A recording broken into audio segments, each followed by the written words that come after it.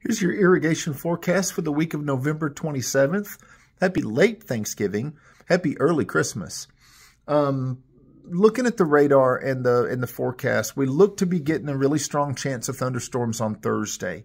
Um, the overnight lows don't look like they're going to drop below 37, which is going to be tonight. Um, so we've gotten our coldest weather of the week. So a&M's telling us that even based on nearly no irrigation being measured in the three weather stations that we monitor, um, they're still recommending that you keep your irrigation systems off this week. Now, they're talking mostly about turf grasses, which ought to be either fully dormant or headed into dormancy. So for your landscape, I would still encourage you to water at least one good heavy time if we don't get this rain this Thursday. Wait until then. If you don't see rain on Thursday, then you may water one day this weekend on both shrubs and trees, and that just means one good deep watering.